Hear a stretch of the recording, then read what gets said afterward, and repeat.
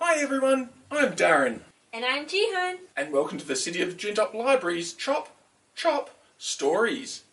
Here we'll be telling mysterious, mesmerizing, and magical stories in a very unusual way. That's right, we are going to share in the storytelling. I will say one line, Darren will say the next, and who knows where the story will go. And to give it an extra flick of the magical wand, we'll have three weekly words that we have to use in our story. Say, Darren, there's something different about you today. Oh, do you perhaps need my wondrous wizard hat or my extra special magic wand? No, that's not it. Did you have a new haircut? Hmm. Okay then, why don't I show you a quick trick and magic my wondrous wizard hat from my head to yours? Oh, cool, Darren, do it. Okay, let's do some magic. A wibbledy weddedy, my hat to your headity. Wow, that's amazing. I think it looks better on me than it does on you. Hmm. Well, in that case, woobity wackety, hat come backety. Aww. Oh, don't look sad, Jihan. Don't you have a story to read out that someone sent in to us? Oh, that's right, Darren. Last episode's three weekly words were stomp, volcano, and kitchen. And we have a story here written by Ben. And with a little magic of my own, here it is. Now, Ben's story goes something like this My dad is really tall. He has big feet that stomp when he walks, and when we run around the house, he makes everything shake. One time, Mom told us not to run around the kitchen, but we did, and Dad fell into the table, breaking it. Oh no! I think if he jumped down really hard, he could make a volcano. The end. Excellent story, Ben. Your dad sounds as big as a dinosaur. Now, if anyone uses this week's three weekly words to write a story, email them to us, and they might be read out next time. Now, I think it's time for this week's prescribed portion of prestidigitation. Huh?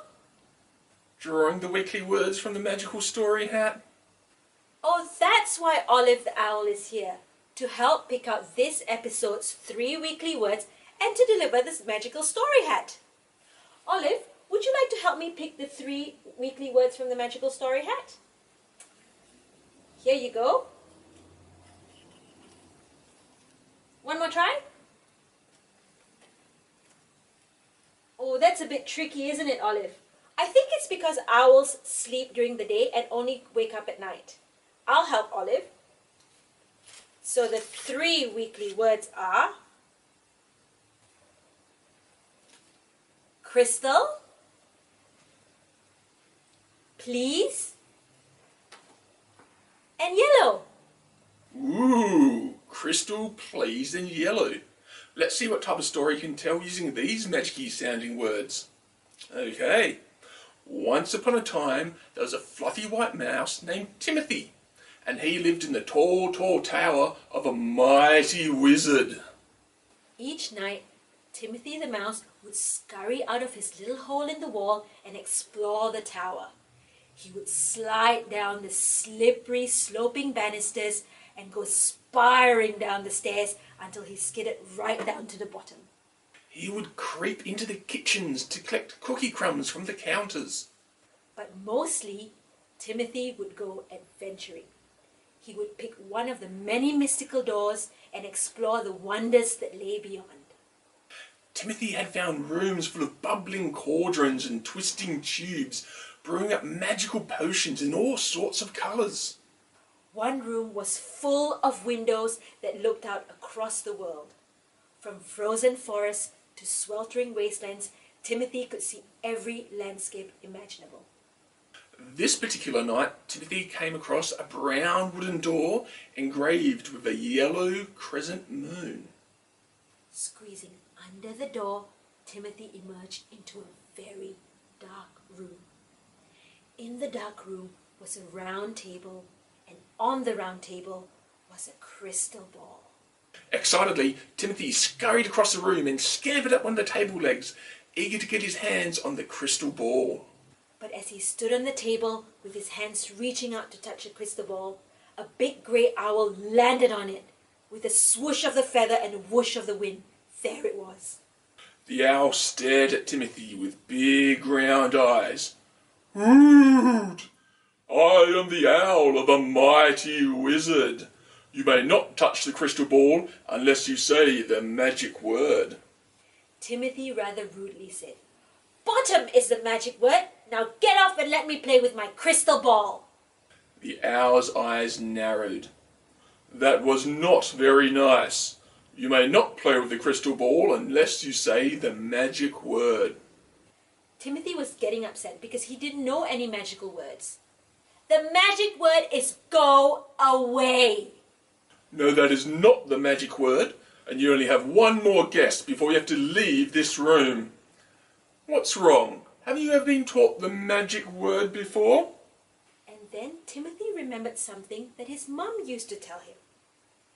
When you're asking something from someone else, you should say, please. Please, may I touch the crystal ball? said Timothy. Very good, said the owl. Please is the magic word you should always use when asking for something. Now come up here to the crystal ball, and I'll show you some of the magics I learnt from the mighty wizard. And Timothy spent the night with his new friend the owl and learned the magic of the word please. The end. Wow, wasn't that a magnificent, magical story? I know I always try to remember to say please when I'm asking for something. Now, if anyone else wants to write a story using this episode's three weekly words, send them through to us and we might read it in the next episode. Okay, I think that's about all we got time for today here at Chop Chop Stories. A big magical thank you to Ben for sending in his amazing story. And another big thank you to Olive the Owl for delivering the magical story hat and helping me pick the three weekly words. So we'll see you next time for some new weekly words Some new awesome and amazing stories. and a new special guest to choose from the Magic Story Hat. Bye, everyone. Bye!